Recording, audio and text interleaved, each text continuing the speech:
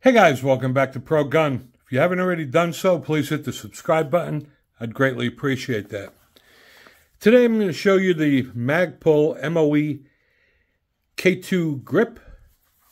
And this is a drop-in upgrade for AR-15.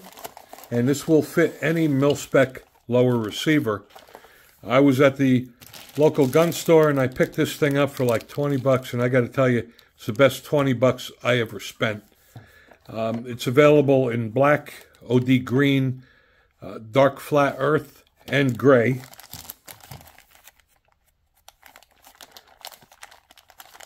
And inside the package, you get the grip. And there's a little compartment in here. Also included is the stainless steel screw. And what I like about this is that a lot of them just use the Allen key.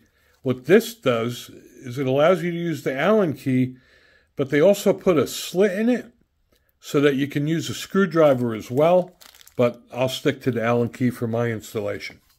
It's extremely comfortable and the grip texture is very aggressive, but it's not going to scratch your hand up or anything. And it just really feels good. Uh, it's designed for proper trigger placement. It's made in the USA with a lifetime warranty. You do get the hardware.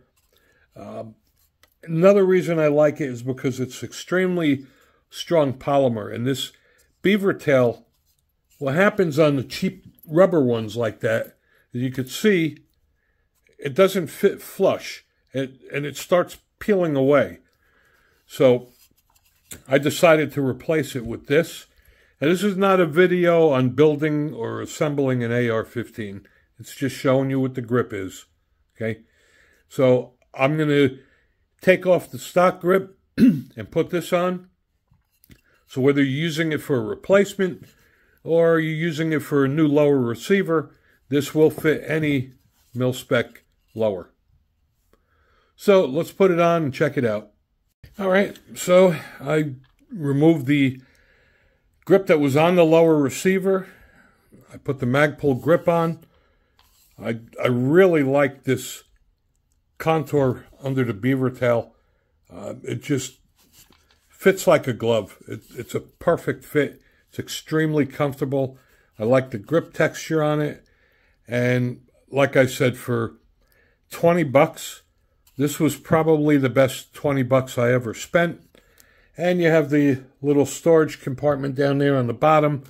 Uh, if you wanted to put something in there, you can.